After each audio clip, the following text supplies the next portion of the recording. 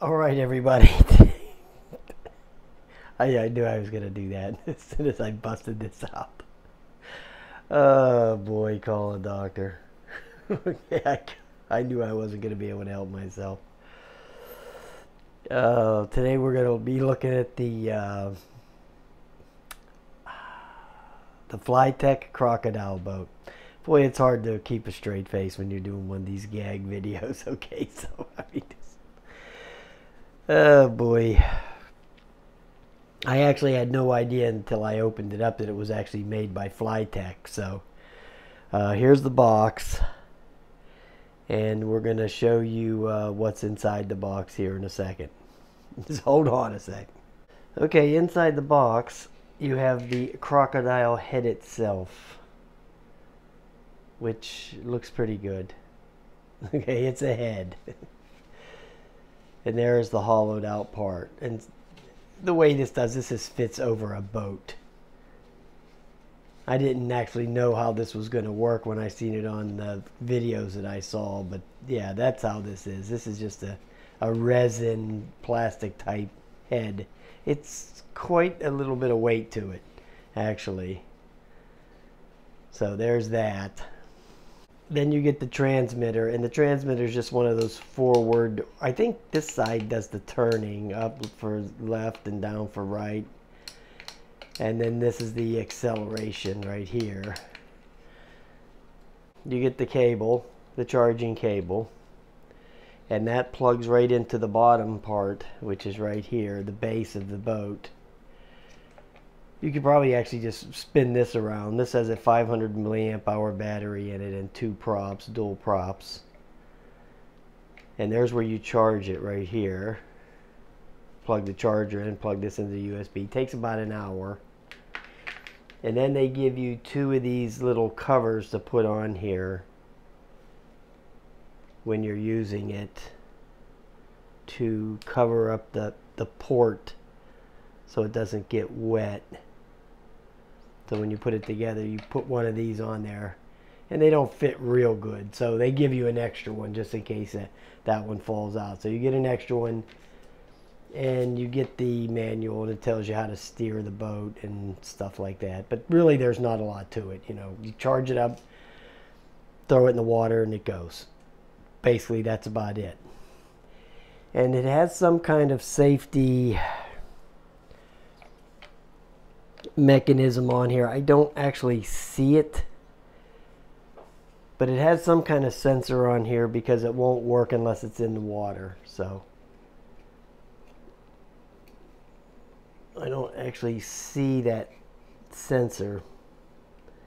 But supposedly it's in there, so we're going to go check it out here in a second anyway. And anyway, the way you put it together is you see these two holes here, here and here.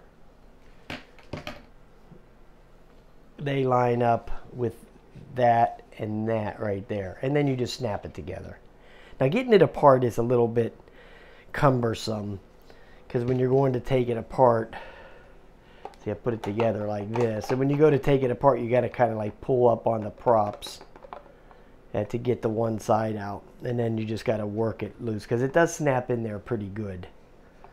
But you just work with it for a little bit and you'll get it apart. So, all right, let's just go check it out. Well, since I had to clean the pool anyway, I figured I'd show you how the gator head works.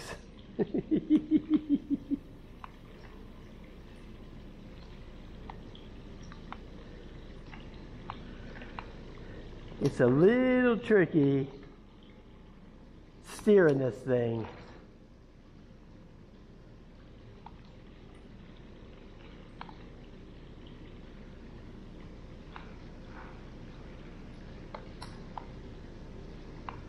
You just want it to go straight. I think you, yeah, you just push on the right stick.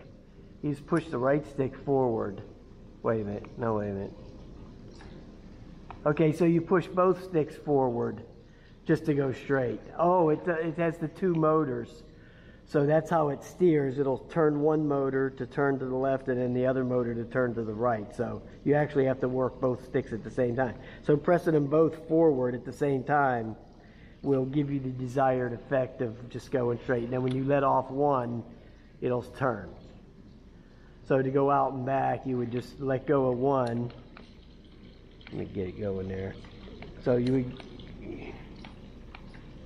It's a little tri- It's a little tricky to get used to. Let's put it that way. There, straight like that. Both of them forward.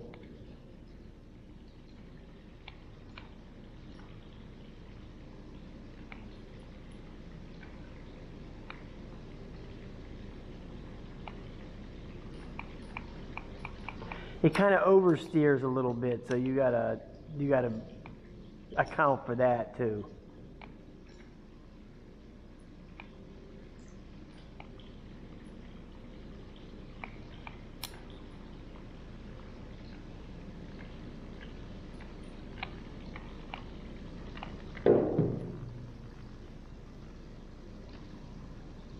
That there's your top speed right there. So it's pretty slow, but it's not supposed to be fast. It's supposed to be scaring people at the beach. Okay, that's what it's supposed to be for. And it looks like the motors will go in reverse too. If you pull back on the stick, it'll it'll go the other way, like that, right there. Okay.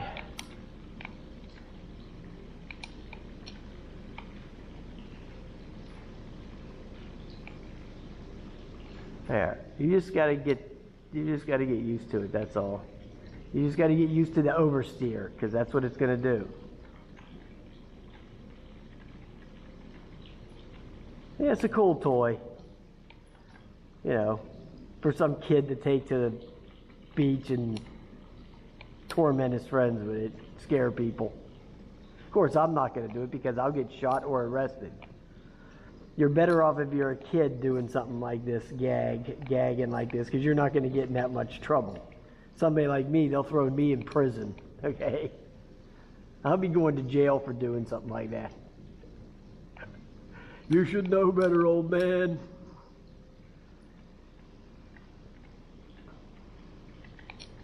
So there you go, the croc head. Yeah, it works fine. Now, it just takes a couple minutes to get used to the control scheme here.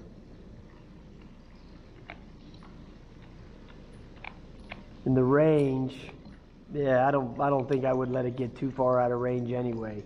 I'm sure it would go to the end of the pool, so, you know, it's probably like 40, 50 feet or something like that. But it seems to be doing fine. All right, guys, there you go, the gator head. Yay.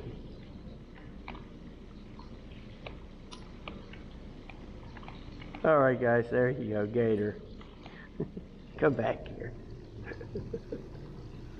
okay, like I said, it has a 500 milliamp hour battery in there.